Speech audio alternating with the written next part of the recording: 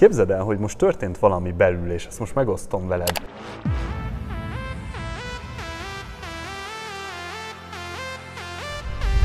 Ugye megkérdezted, hogy mit csinálok, és ugye mondtam, hogy vállalkozó vagyok valójában. Ugye több vállalkozásom is van, és az csak az egyik, hogy marketinggel foglalkozunk. A másik, ami igazából az én valódi ilyen, ilyen szívből és lelkemből jövő ö, ajándékom talán a világnak, amit nagyon szeretek, az az, hogy fiataloknak segítek, akár idősebbeknek is, abban, hogy tudjanak felépíteni a semmiből egy vállalkozást, vagy a meglévő vállalkozásukat fejleszteni, annál, annál jobbat sem, mint ami eddig volt. És nagyon érdekes, hogy nem, mint hogyha ne, egy kis hang megszólalt volna a fejembe, hogy nem mondhatom el neked azt, hogy én mentorként, üzleti mentorként dolgozom, mert hogy nagyon fiatal vagyok hozzá, és hogy valójában mit gondolnál te arról, hogyha én azt mondom, hogy már most mentorként foglalkozom. Milyen furcsa, hogy van egy ilyen megfelelési kényszer bennünk emberekben, nem?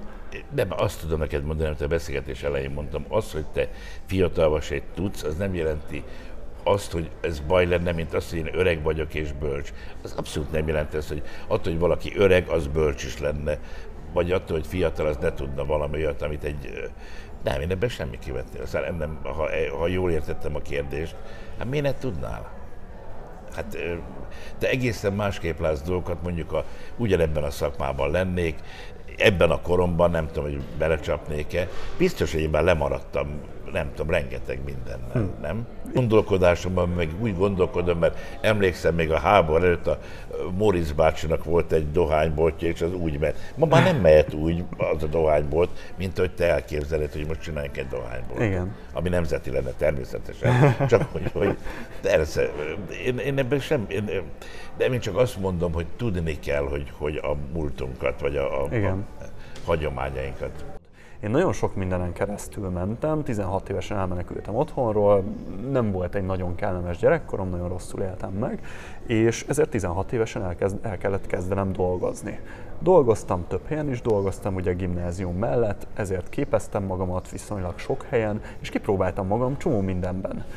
Megnéztem, miben vagyok jó, miben nem. Nagyon sok kapcsolatot építettem, nagyon sok mindent értékesítettem, jártam sokat külföldre. És pont ezért, amit ugye mondtál, hogy ma annyi dolog történik 3-4 év alatt, mint régen 400 év Igen. alatt. Na velem annyi minden történt 16 éves koromtól egészen mostanáig, mintha már vagy az ötödik életemet élném. És ezeket a tapasztalatokat tudom átadni most jelenleg ugye másoknak, és ezekből a tapasztalatokból tudnak ők épülni, és nem elbukni. És beszélsz nyelvet. És beszéljek nyelvet, igen.